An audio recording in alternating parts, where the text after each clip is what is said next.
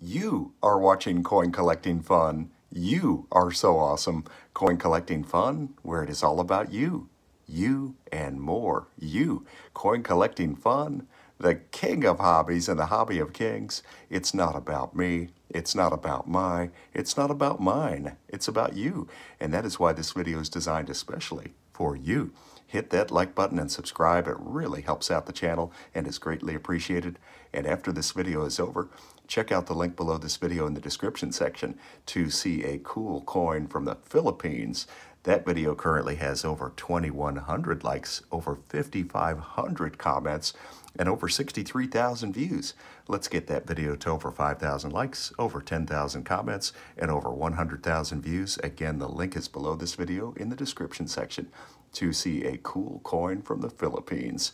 If you enjoy this type of content, crush the like button, crush the subscribe button, and if you do decide to subscribe, tap the notifications bell to be notified of future coin collecting fun videos just as soon as they're uploaded to YouTube, and be sure to share this video with all your coin collecting friends out there. So here is an amazing and beautiful 1958D Franklin half dollar. We see Benjamin Franklin in the center of the coin facing right, Liberty atop, 1958, In God We Trust. This has been an enjoyable look at the front of the coin, or we can call this the obverse of the coin, or simply heads.